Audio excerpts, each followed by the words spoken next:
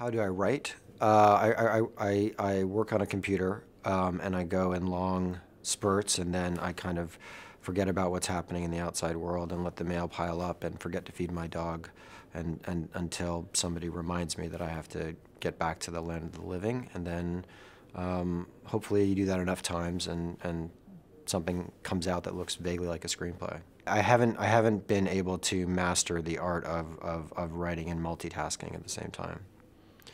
I do admire writers that can do that, that can sort of write in the morning and then take a phone call two hours later. That's quite difficult for me. It's a very specific and, and, and acute pleasure to see your work being interpreted and performed and brought to life by a good actor.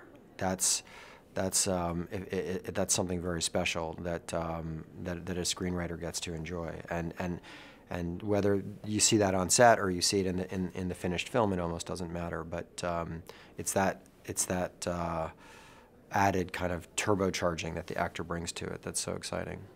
Kathryn and I have done three movies together, and, and over the course of that time, we've developed a shorthand, which is quite helpful in, in, in terms of arriving at the story that, that, that is, that is going to be told we're able to discuss things in a way that's maybe uh, a little bit more efficient than it would be if it was a director that I hadn't worked with before.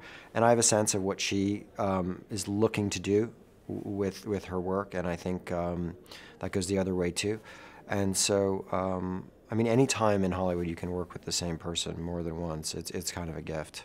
Detroit is based on a true event that took place in 1967. So we we did two things really. We looked at documentary evidence, which involved uh, police investigations and court records, interviews that were conducted contemporaneously at the time. And then we also went back and interviewed people who were still around who had lived through the events. And that was about a four or five month process. And I actually had a team of journalists working for me, uh, helping with that. And all of that material really helped inform the screenplay. Well, one of the things you're looking for in the research is to try to get as close to the truth as you can. Uh, this particular story revolves around a crime, and nobody was ever convicted of the crime, even though three young African American men were killed. So one of the things you're looking for is to try to nail down some sense of guilt and innocence. And then in a broader sense, uh, as a writer, I'm looking for things that will help me with the dialogue, things like uh, period detail, the way people thought, the way they expressed themselves.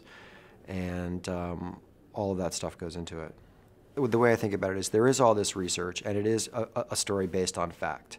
But as a storyteller, I take responsibility for telling you a story that I've written. So it is, in that sense, historical fiction, and it's very much a tale. And um, really, the, the measure of that, of, of what goes in and what goes out, is what I would feel comfortable standing behind.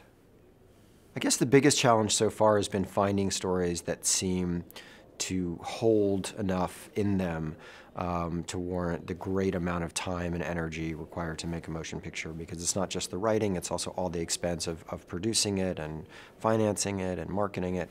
So there, there, it's, it's quite a large enterprise and quite a, a, by the end of the day, quite a lot of people, hundreds of people are involved in it. And uh, it is difficult, I think, to find stories that are, that are worthy of that effort. I hate giving advice, but my, but my, but my, one, my one piece of general advice would be uh, find stories that you feel you absolutely have to tell. And um, I, I, I, suppose that sounds trite, but if you really think about it, I think it, it'll, it'll, it would put a young writer in, in, in a good position to, to only do things they felt really passionate about.